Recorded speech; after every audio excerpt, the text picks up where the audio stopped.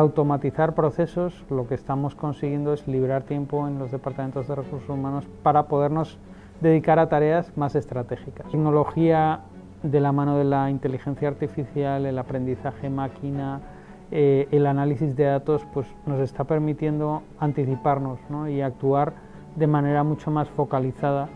Para roles de dirección de recursos humanos, yo creo que la tecnología lo que va a hacer, y en general para todos los roles de, dirección, lo que va a hacer es hacernos movernos a un espacio donde lo importante va a ser el liderazgo, la capacidad para liderar equipos, para liderar personas en la organización, ayudarles y facilitar a esas personas que sean capaces de cumplir con sus objetivos más rápido de lo que lo harían si nosotros no estuviéramos ahí. ¿no? Con el sector de la salud estamos viviendo un momento particularmente retador, ¿no? porque hay, hay, una demanda importante de talento y, bueno, pues, pues estamos lidiando con ello eh, de la mejor manera posible, que está aquí para quedarse, pero ni es para todas las profesiones ni es para todas las personas. Mi experiencia lo que he visto es que depende de muchas cosas el que eh, sea una buena idea que alguien trabaje desde casa o desde la oficina. ¿no?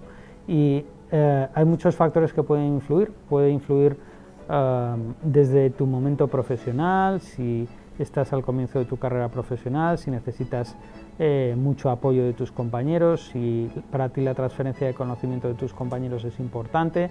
Y creo que hay, por ejemplo, en muchas eh, eh, labores de recursos humanos como toda la acogida de empleados, el onboarding, etcétera, se nota mucho pues la diferencia de hacerlos en presencial y en remoto. ¿no? Hay momentos en la vida del empleado en, los que la presencialidad puede ayudar y puede acelerar las cosas, puede ser importante.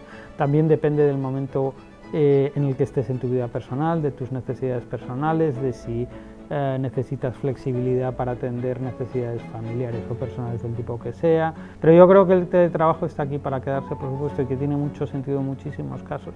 Y que en muchos casos puede ser una ayuda importante para las empresas también para localizar talento, para retener talento eh, y, para explotar todas las capacidades de las personas.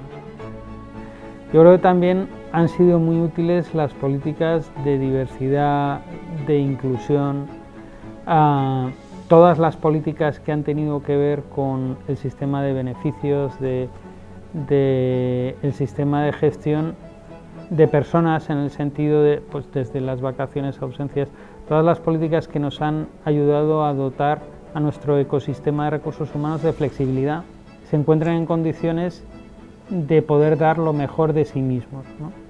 Em, y efectivamente el hecho de que IQVIA sea una empresa global, pues creo que tiene sus cosas muy positivas. Eh, vivimos en un mundo muy globalizado y lo que te ayuda, yo creo que lo que te aporta la globalización es el poder comparar mejores prácticas eh, de manera casi instantánea.